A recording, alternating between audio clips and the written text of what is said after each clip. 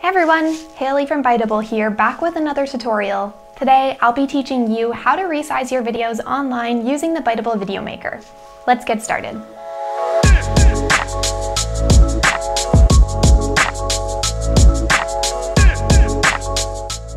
Here's how you can use the Biteable Video Maker to resize your videos. You'll start by either logging into your account on Biteable or creating a new account. It's completely free to sign up.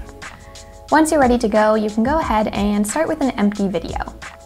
From here, you can choose the video shape and size based on where you plan to share your finished video.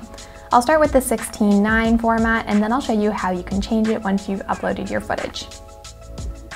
So if you have your own video that you'd like to upload, you can use the Upload tab on the left-hand side here. Or you can also use our stock images and videos. For this example, I'll show you how to change the size of one of our stock videos. So we'll just go ahead and pop into a folder here, and we can pick any video that we'd like to change the size of. We'll do this one. So when we started our video, we chose the 16 by 9 aspect ratio. Let's go ahead and say I decide I want to share this on Instagram instead of YouTube, so I need a one-to-one -one aspect ratio. While I'm in this edit tab, I'm going to go ahead and navigate up to video settings. And from there, I'll be able to change the video shape and size. So like I mentioned, I want to share this to Instagram now, so I'm actually going to go with the one-to-one -one or square format. And I can go ahead and click save.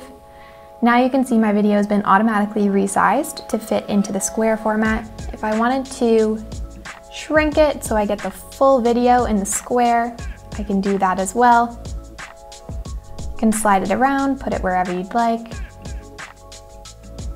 You can even add a background color.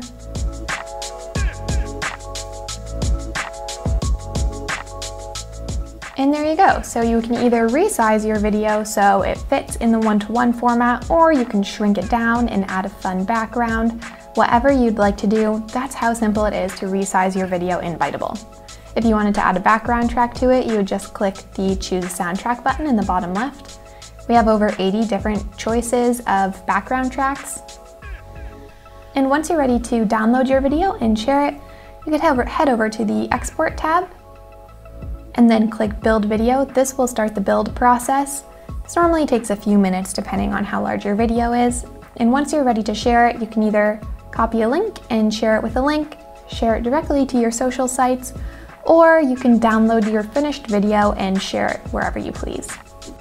And there you have it. If you're ready to give it a try for yourself, head to biteable.com and upload your own video. If you like this tutorial and you want to see more from us, don't forget to subscribe to our channel down below. See you next time.